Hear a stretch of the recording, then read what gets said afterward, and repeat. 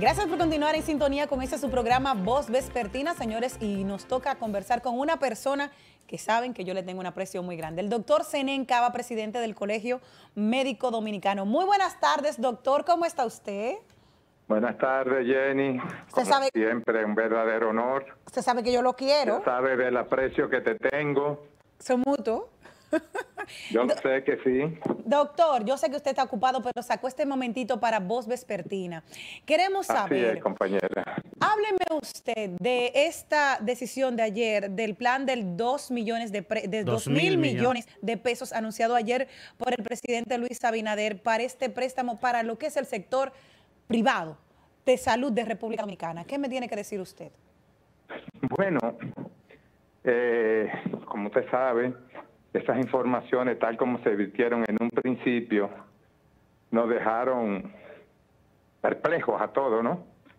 Sin embargo, en la mañana de hoy recibimos una llamada de una fuente de entera confianza desde el Palacio diciéndonos que, que no era así como se estaban planteando las cosas. Eh, en tal sentido, el pres- la persona que nos dijeron que mañana los ejecutivos del Bandes se van a encontrar con el colegio médico en la sede central. Eh, y en tal sentido, hemos convocado también a las sociedades especializadas, porque no es hacia las grandes clínicas que está el porque de hecho es una cantidad exigua para esas grandes clínicas que son verdaderos consorcios enormes. Eh, que esos préstamos están destinados a, a médicos que tienen algún tipo de proyectos, que quieren emprender alguna alguna consulta, algún consultorio, alguna algún centro modesto y que no tienen cómo. Eso fue lo que se nos dijo esta mañana. No obstante, yo le dije a las fuentes que nos informaron que lo mejor sería que los ejecutivos de Bandes vayan por allá mañana, porque lo cierto es que tal como se virtió la información, inclusive tal como se establecía en el discurso, lo más, lo que la gente pensó era que eso estaba destinado a las clínicas Claro. grandes. Claro, pero ¿y y qué eso falla de comunicación?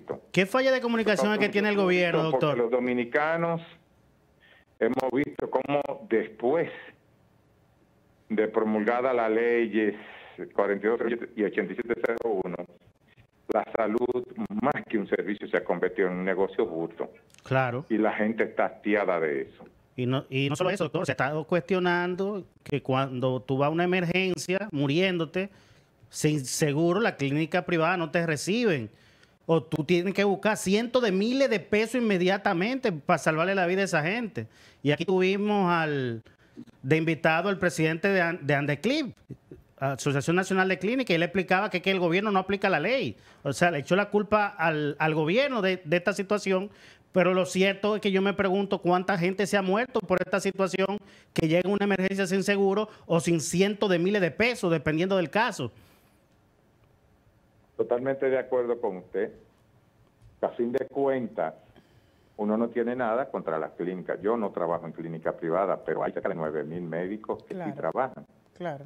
Lo que, lo que creo es que el ejercicio médico debe hacerse apegado en muy buena proporción, y yo me inscribo totalmente dentro de esa visión, apegado a normas humanísticas. Yo pienso que la compasión es lo que nos, y es más, no, no, no nos distingue, pero yo he visto animales de esas llamadas especies superiores que, que por lo menos manifiestan conductas compasivas con otros animales o con animales de su misma especie. Así es. Entonces, los humanos debemos demostrar eso y no deshumar, valga la redundancia, ¿no? No deshumanizarnos. El servicio. Eh, la compasión, la solidaridad debe ser un estigma de este sacerdocio que hemos escogido mucho, que se ha convenido en llamar práctica médica. Doctor, yo sé que usted no ha sido un doctor de cortinas, yo sé que usted ha trabajado durante muchos años y ofreciendo su servicio, eh, ofreciendo su sacerdocio como médico, como galeno, entregando todo ese, ese potencial que tiene, esa preparación que usted ha tenido. ¿Han ustedes hecho un levantamiento de, a propósito, como ayer, vuelvo a repetir, tienen el problema de comunicar qué es lo que quieren transmitir, porque yo dije, ok, perfecto, las clínicas privadas, ¿cuál es el, gran problema? Porque en el sistema de salud público, que es donde usted ha hecho mayor vida y ha, su sacerdocio ha estado ahí, saben que hay muchas deficiencias. El colegio médico también tiene un levantamiento de qué se podría mejorar en ciertos hospitales, porque ustedes están ahí en el día a día, para enseñarle a ellos también, porque decirle, ok, vamos a hacer la parte... Cuénteme. Jenny, Ayer mismo llegaron de Santiago Rodríguez una comisión entregada por médicos de allí y la sociedad civil. Ellos pedían insumos. Ellos no vinieron a buscar trabajo, ellos no vinieron a buscar dinero. Ellos vinieron desde Santiago Rodríguez a buscar insumos, un colposcopio, un autoclave, enseres para el trabajo, para trabajar porque hasta eso se le dificulta. Y entonces en medio de esas circunstancias, uno se da cuenta que todo le da trabajo a uno aquí, sobre todo a nivel de, esa medicina que no es rentada, que es la medicina pública.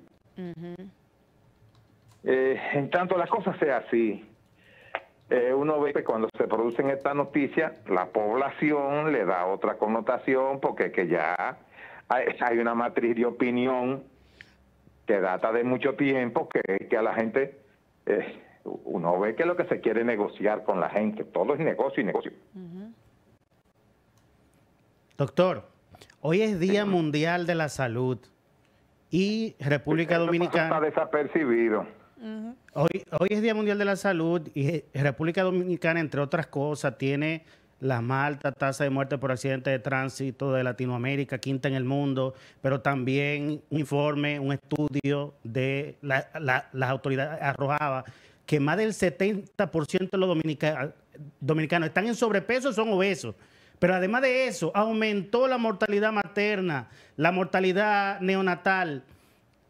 ¿Qué usted nos puede decir de estos temas el Día Mundial de la Salud? decir eso que 21 años para 22 años de seguridad social y de ley general de salud no han servido para nada.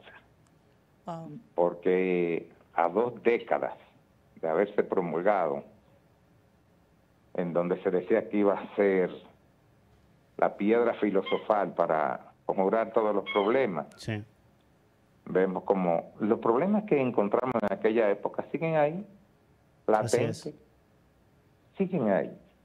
Que fue todo un amaraco dirigido a cualquier cosa menos a darle seguridad a las personas en términos de un retiro digno, de recibir salud de calidad con calidez y de atender lo que usted acaba de decir, los accidentes que sufren en el trayecto hacia su trabajo o, de la, o del trabajo hacia su casa. Todo eso fue pura retórica vacua, vacía. Eh, fíjense usted, ¿usted sabe cuánto tienen las ARS, las AFP acumuladas?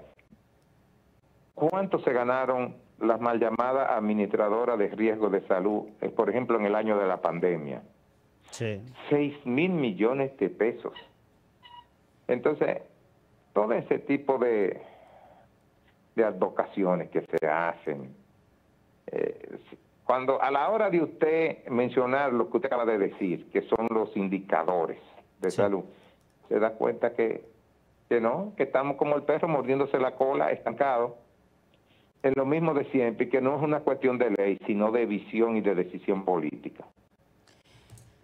Doctor, algo que me, que me... Bueno, el otro día escuchaba la, las declaraciones de la Procuradora General de la República, Miren Germán, que decía que ella estaba de acuerdo que se hiciese el, Ministerio de Justicia para así eh, tener al INASIF en, un organismo que pueda eh, trabajar independientemente de la Procuraduría. ¿Cómo ve esto usted vinculado al tema de los médicos forenses? Porque yo estoy de acuerdo, porque sabemos que normalmente cada año, lo dijo aquí el doctor Sarita Valdés, son cinco los especialistas que salen, pero por los protocolos no se pueden nombrar y nosotros tenemos un déficit en, médicos especializados que no consiguen ser nombrados en el Estado para dar este servicio. Ustedes van a hablar de esta inquietud también que a mí me preocupa bastante porque levantar un cuerpo, doctor, son nueve horas. esos compañeros terminan de formarse, el Estado invierte en ello recursos económicos y cuando terminan luego de cuatro años, no encuentran qué hacer con lo que aprendieron. Invirtió un dinero que no se retorna al pueblo entonces, así no se puede y nosotros hemos venido insistiendo en que se abran más espacios para ellos, en que se, se contraten para servirle a esta población que tanto lo necesita.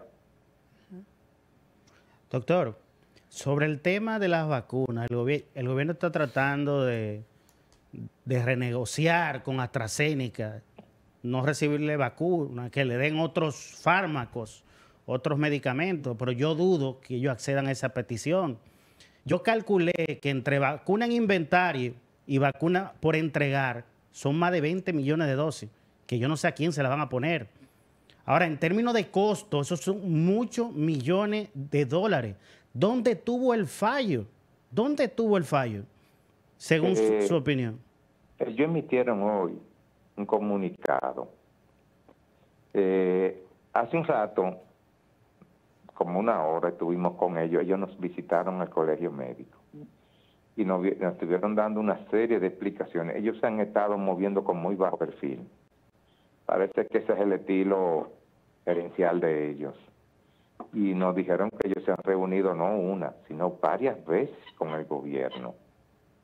Y que en principio ellos insistieron en darle vacunas, sobre todo vacunas para el año que viene, para el 23 para la porque en el año 23 la población se va a vacunar de nuevo, van a tener mucho que vacunarse de nuevo, lo que se llaman refuerzos. Pero que el Estado no, no, ha querido negociar, pero también ellos han estado tratando de negociar otros productos. Eh, mientras ellos nos daban sus explicaciones, que hay que admitirlo, ellos fueron de una manera muy, este, muy muy elegante, se reunieron con nosotros eh, una de las preguntas que se le hicieron allí fue si no habían otros productos eh, que se podrían negociar, tal como se le ha sugerido en el ministerio y en otro tipo de, encuentros que ellos han tenido. Y lo que me pareció a mí en términos particular es que ellos no se han cerrado de todo a otro tipo de acuerdos ellos dicen que tienen algunas dificultades porque esos productos tienen una línea de mercado que es muy ajustada y entonces pedirle a ellos de buenas a primeras 20 millones de dólares en tales fármacos, ellos le dicen, eso no, eso no puede ser posible por el mismo por la misma línea de producción que tenemos, que en algunos casos es muy limitada. Pero ellos no se cerraron a, a negociar y me luce que sí van a llegar. Más tarde que temprano ellos se van a poner de acuerdo, porque me luce que AstraZeneca quiere llegar a acuerdo. Me lució. Fue lo que inferí de esa, de esa conversación que tuve con ellos. Doctor, sobre los medicamentos de alto costo que se han visto quejas en los últimos meses, el acceso a ellos, gente que su vida depende del acceso, gente pobre, su vida, seguir viviendo, de, que accedan a estos medicamentos. ¿El Ministerio de Salud Pública está haciendo lo suficiente? No, no, no, no, no. Pero nosotros tuvimos un encuentro muy provechoso con la CISARRIL y el doctor Félix Iglesias. Eh, la CISARRIL va a asumir, está produciendo las líneas este, gerenciales para asumir, eh, destinar una buena cantidad del dinero que se produce en, términos de la seguridad social para dedicarlo a, los medicamentos de alto costo. Es un programa que ellos lo van a dar a conocer en su momento me lució muy seria la propuesta. Ellos todavía la están, están casi concluyéndola para conjurar ese tipo de situación que golpea duramente a los pobres. Me luce que si Sarril va a tomar el, el sartén por el mango, la propuesta que nos hicieron, que nos mostraron allí, que ellos le van a hacer a la Seguridad Social, nos lució muy, muy viable y que va a contribuir grandemente a paliar esa situación. Bueno, doctora, nosotros solamente nos queda siempre agradecerles a usted, y a todo su equipo. A sus órdenes. Yo lo quiero muchísimo. Gracias por la distinción de estar con nosotros en la tarde de hoy. Tanto Hernán como yo estamos sumamente felices de haber contado con usted, escucharlo. Cualquier, usted sabe que este programa es suyo. Cualquier declaración que usted quiera, a la hora que sea, usted solamente tiene que llamar aquí y decir, yo quiero hablar. Ahí está. ¿Usted es suyo? Gracias Jenny, gracias Hernán. Un abrazo fuerte. Estuvimos hablando Muchísimas con el presidente del Colegio Médico Dominicano, el doctor Zenén Cava, de todas estas inquietudes que tenemos, sobre todo ayer que se hacía pública esta, eh, esta donación de 2 mil millones de pesos a las clínicas privadas. Seguimos con problemas de comunicación. No, no, no, eso no es, eso no es un problema de comunicación. ¿Tú sabes, tú sabes cómo funcionan esas actividades. Se le pasa una nota de prensa a todos los periodistas que están ahí. Todos los medios recogieron la misma información, la misma eso es que están reculando otra vez. Eso es recular otra vez, pero no lo van a admitir. Bueno, ya miraremos al final que se llegue a un, consenso. Si se puede mejorar de estos dos mil millones que hicieron, no, no son los grandes emporios, sino lo que necesitamos es que yo te digo a ti, ah, mira, hay una, un centro de salud ahí en, en, que la cotorrita no está aquí, ¿verdad? Pero óyeme, lo que quiero yo, o sea, al final lo que nosotros queremos es salud. Alguien tuvo la genial idea de prestarle a empresas de salud cuando aquí lo que se está cuestionando es la atención privada de salud. Exacto. Que tú llegas a una emergencia y si tú no tienes seguro te dejan morir. ¿Cómo le pasó al periodista Conde? Todos tenemos un familiar o un relacionado que le ha pasado y ha muerto por eso. Y entonces regalarle 2 mil millones a 20 años, a un 5, un 6% de interés. Eso es casi regalárselo. Eso son como los préstamos agrícolas, casi regalárselo. Eso no fue ningún error de comunicación. Quieren echar para atrás ahora, porque todo el mundo se le echó encima. Pero bueno. Ya miraremos. Cuidado que hoy es el Día de la Salud y yo no quiero que te me vaya a poner malo aquí. Vámonos ahora. Mira, venimos con la tercera edad, la doctora Mirta de León. Vamos a reparar. Respira hondo. Respira conmigo, mira. Ojalá aparezca un juguito de producción para yo calmar. para refrescarte y bajarte un poco la tensión. Venga, ¿qué andas sonriendo? Ya, ya, ya. Nosotros vamos a una pequeña pausa, ¿tú crees que sí? Sí, vamos. Vamos a una pausa y retornamos en breve. Thank you.